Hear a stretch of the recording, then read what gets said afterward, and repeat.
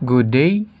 This time we are going to talk about the steering control system, the change over to manual steering to autopilot and vice versa.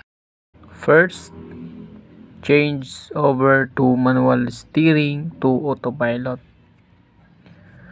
So, we must first put the rudder shifts, then turn the mode selection unit, the knob, counterclockwise to point auto.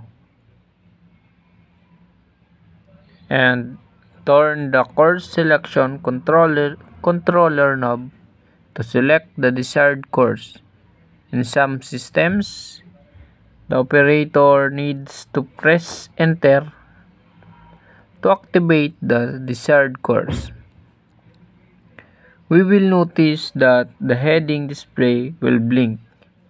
Be sure to be familiar with the equipment to avoid untoward incident. And from autopilot to manual control, put rudder amidships, then turn the mode selection unit knob clockwise to put to point to hand and hold the helm or wheel and steer by hand with the helm order of the master, the pilot or the conning officer and using the rudder angle indicator and the gyro repeat, repeater.